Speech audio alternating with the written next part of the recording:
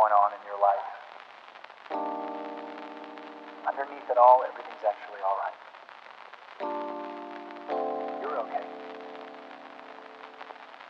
You have more power than you like to give yourself credit for. And if you have something that's going on in your life right now that's challenging